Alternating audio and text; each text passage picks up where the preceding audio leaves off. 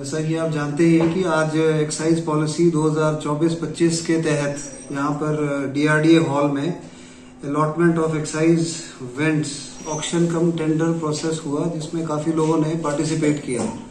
तो इसमें इनिशियली जो एलिजिबिलिटी क्राइटेरिया था, उसमें एक तो डिफॉल्टर नहीं होना चाहिए, इक्कीस साल का सिटीजन पैन कार्ड वगैरह अलग अलग जो प्री रिक्विजिट्स थी, वो उनकी तरफ़ से एप्लीकेशन फॉर्म के साथ भरी गई।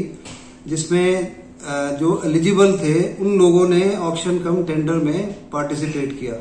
हालाँकि लोग काफ़ी उपस्थित थे बट जो एलिजिबिलिटी क्राइटेरिया के हिसाब से जो पार्टिसिपेशन था, वो अप टू द मार्क नहीं रहा।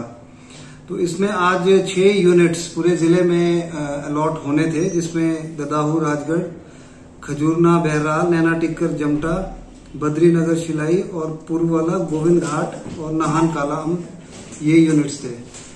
तो इनिशियली क्योंकि इसमें पार्टिसिपेशन एलिजिबल जो बिडर्स का था वेंडर्स का था, वो इतना नहीं रहा। तो फाइनली हमें पूरे ज़िले के जो छह यूनिट्स थे, इनको क्लब करना पड़ा।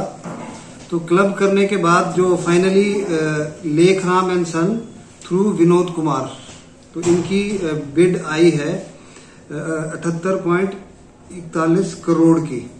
जो कि रिज़र्व प्राइस से थोड़ा ऊपर है जो रिज़र्व प्राइस था अठहत्तर करोड़ चालीस लाख तीस हज़ार चार सौ अट्ठावन रुपये तो इसमें एज पर एक्साइज पॉलिसी जो रूल्स प्रोसीजर्स थे टर्म्स एंड कंडीशंस थी वो सारी इसमें फॉलो की गई।